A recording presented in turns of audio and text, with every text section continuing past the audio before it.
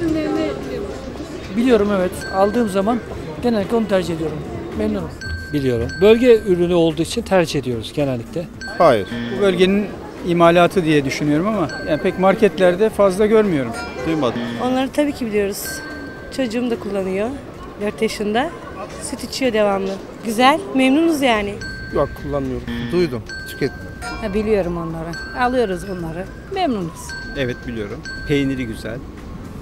O kadar yani tereyağı falan eee, o kadar iyi değil. Yani saflığına inanıyorum ama yani tat olarak pek eee, istediğimiz tadı alamıyoruz. Evet.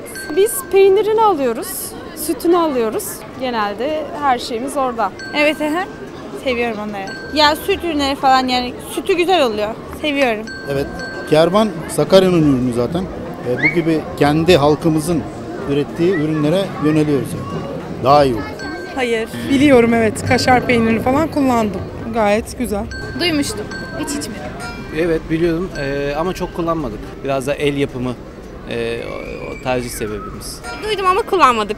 Yani denemedim.